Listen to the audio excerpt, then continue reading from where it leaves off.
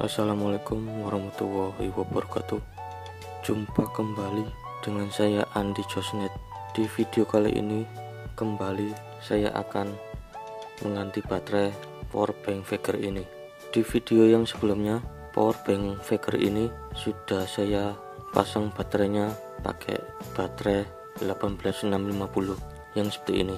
Dan pada video yang sebelumnya yang seperti ini baterai power bank ini sudah saya ganti dengan baterai 18650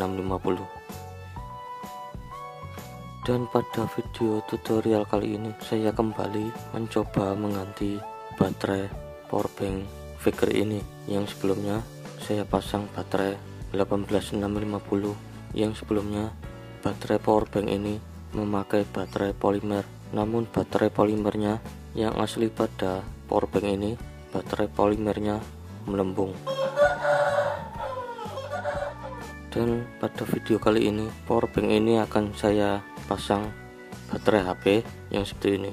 Ini baterai HP yang dipasang pada HP Samsung Note 7 ini baterai Samsung Note 7 yang seperti pada gambar. Ini baterai double power dengan voltase 3,8 volt dan kapasitas mAh nya 3100 dan ini baterai akan saya pasangkan pada powerbank ini dan ukurannya juga pas dengan powerbank bekas ini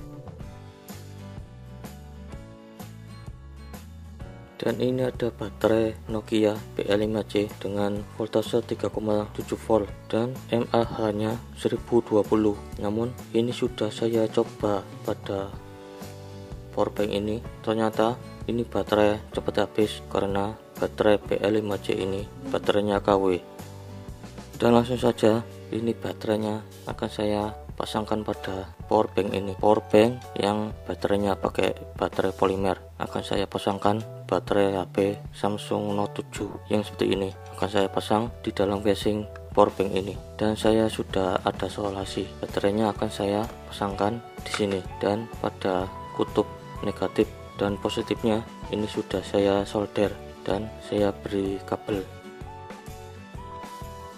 Dan baterainya akan saya pasangkan di powerbank ini